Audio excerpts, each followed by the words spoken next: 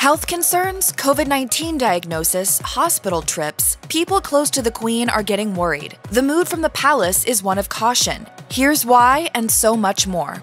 Queen Elizabeth II recently kicked off her Platinum Jubilee year. However, she didn't have long to celebrate her 70th anniversary on the throne due to a shocking COVID 19 diagnosis. The British monarch was confirmed to have tested positive for COVID 19 on Sunday, February 20th. A Buckingham Palace statement explained Her Majesty is experiencing mild cold like symptoms, but expects to continue light duties at Windsor over the coming week. She will continue to receive medical attention and will follow all the appropriate guidelines.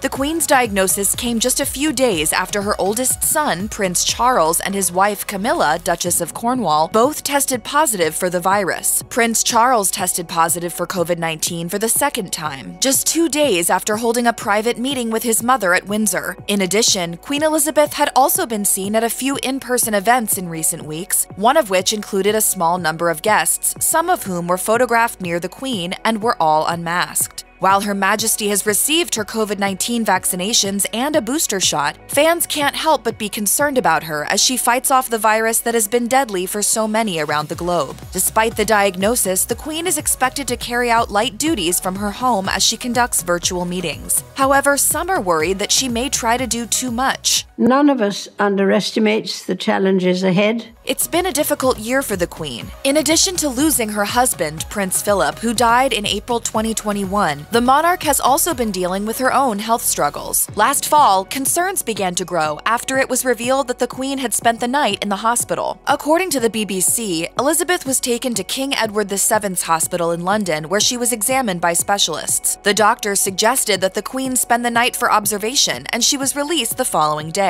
The palace said in a statement at that time, following medical advice to rest for a few days, the Queen attended hospital on Wednesday afternoon for some preliminary investigations, returning to Windsor Castle at lunchtime today and remains in good spirits. However, Elizabeth's health concerns forced her to cancel a trip to Northern Ireland, as well as many engagements over the following weeks. After her hospital stay, the Queen returned to work and carried out some light duties. However, she announced that she wouldn't attend other events, such as the Remembrance Day ceremony at the Cenotaph War Memorial due to issues with her back. The Queen's COVID 19 diagnosis is just the latest medical issue to take her off her feet over the past few months. The Daily Mail reports that Queen Elizabeth has had a watchful eye on her since testing positive for COVID 19. According to the outlet, the palace is being cautious but has no current need to be alarmed by Elizabeth's reportedly mild symptoms. In fact, the Queen is planning to do as much work as possible with a plan to continue with light duties. However, the Queen's team of loyal staff are thought to be keeping a close eye on her since she's said to be looking more frail than usual as of late.